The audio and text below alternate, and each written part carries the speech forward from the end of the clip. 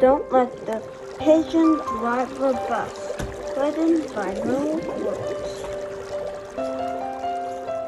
She wants to drive a bus. Hi, I'm the bus driver. Listen, I've got to leave for a while, so can you watch things for me until I get back? Thanks. Oh, and remember, don't let the pigeon drive the bus. For Cherry, I thought he'd never leave.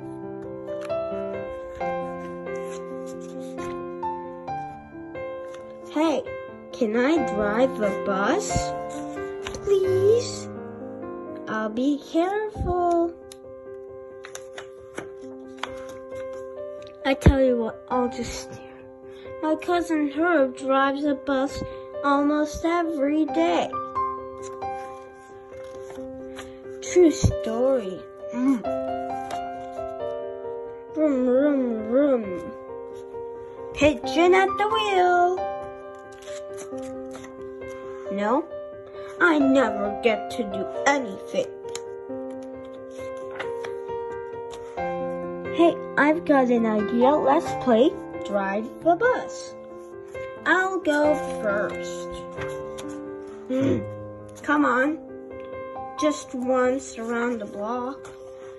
I'll be your best friend. How about I give you, how about I give you five bucks? No fair. I bet your mom would let me. What's the big deal? It's just a bus. I have dreams, you know. Fine. Let me drive the bus.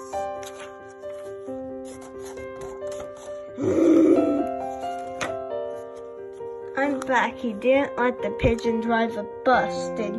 Great. Thanks a lot. Uh-oh. Bye. Hey.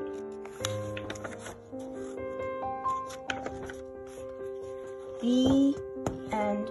But wait, there's some more. Finally, a book you can say no to. Will you let him drive? Mo Willems is a fine-time Emmy Award winning writer and animator for Sesame Street.